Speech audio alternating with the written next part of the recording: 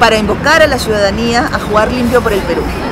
Creemos que todos y todas tenemos la oportunidad de jugarle limpio al Perú. Nosotros estamos poniendo unos contenedores aquí y la gente va a poder poner sus botellas de vidrio, de plástico, papel y cartón, o si no también disponer los residuos de comida, ¿no es cierto? Los envases, los restos de comida.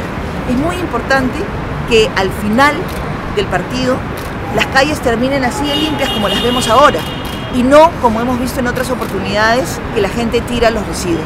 Nosotros creemos que estamos tan contentos que somos capaces de crear esta cultura de limpieza también en nuestro país. Tenemos la oportunidad no solo de alentar a nuestra selección, sino también de jugarle limpio al Perú porque el Perú está primero. Arriba, abajo, que vive el Perú caracho y bota tu basura al tacho. Aquí, allá, juega limpio.